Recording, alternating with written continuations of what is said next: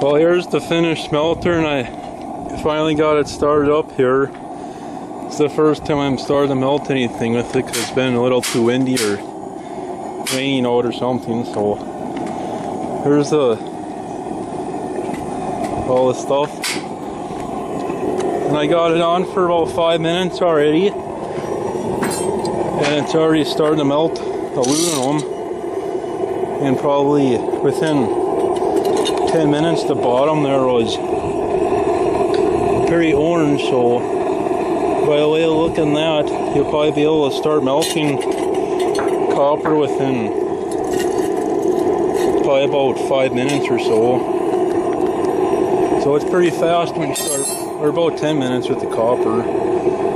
So it's pretty fast with the two blower fans here. And then if it if you have trouble with your airflow can just cut a slit in the pipe, or the yeah the two inch pipe to your propane weed burner, and then you can uh so you can get your uh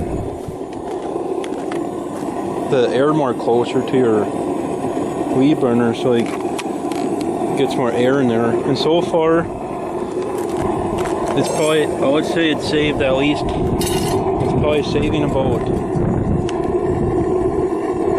probably at least 15 20% more efficient with two fans instead of one so so there you see it's working. And it's probably the cheapest and best one you can make yourself so again thanks for watching